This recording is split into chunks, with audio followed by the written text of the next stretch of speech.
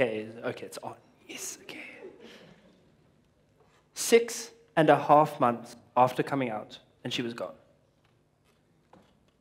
Suicide. Suicide took my closest friend. Why? Was the idea of her just not good enough? Last year, a dear friend of mine came out as transgender. I remember the phone call.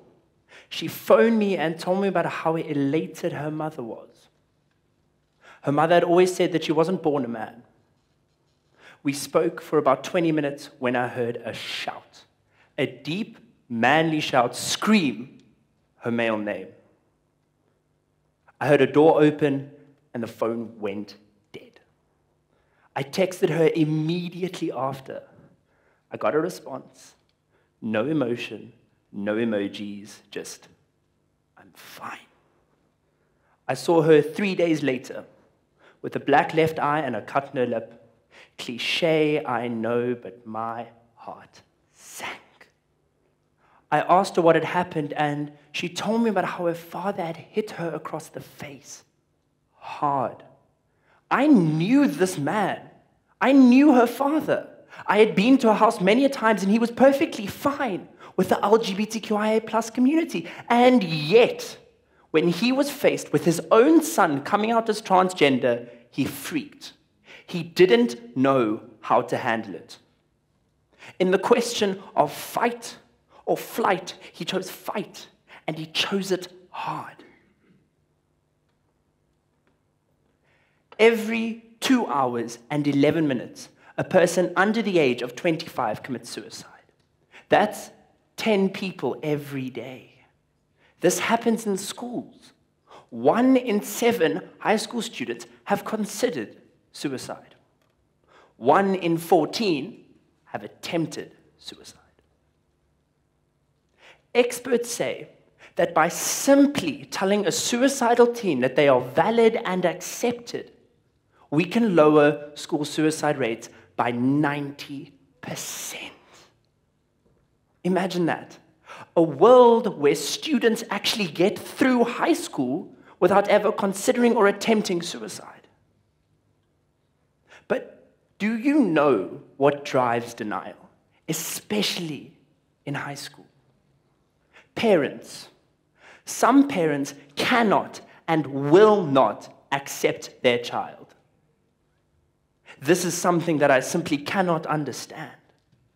How could you not love your child unconditionally? I mean, what's more difficult? Accepting your child for who they are or burying them in the idea that they are just not good enough? Nearly 50% of transgender teens have considered suicide a third have made a serious attempt. In total, 22% of all transgender youth have successfully committed suicide. Suicide plagues our society and robs us of the richest and most important people. People with unique value, but people like you and me are the reasons that they are not here with us today. A large part of my belief system is that hate is from within. If you harbor hatred towards someone else, then you harbor hatred towards yourself. Essentially, you hate yourself. After all, we shouldn't judge those who sin differently than we do. Male homophobia. Easily the most predominant and colloquialized type of hate in the world. Basically, straight males are scared that a gay man is going to do to them what they do to women, and that a lesbian will treat their woman better than they ever can. The male society is about masculinity, about getting girls.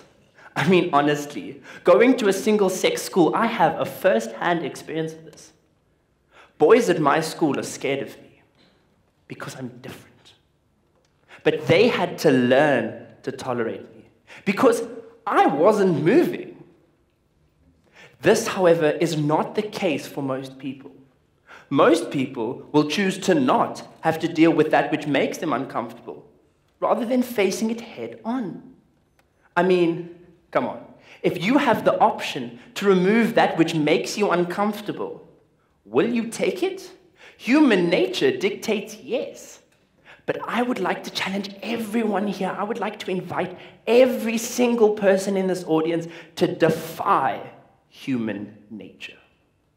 Go up to that person that makes you uncomfortable and get to the heart of that which makes you uncomfortable. I mean, what scares you? Difference? Diversity? Change?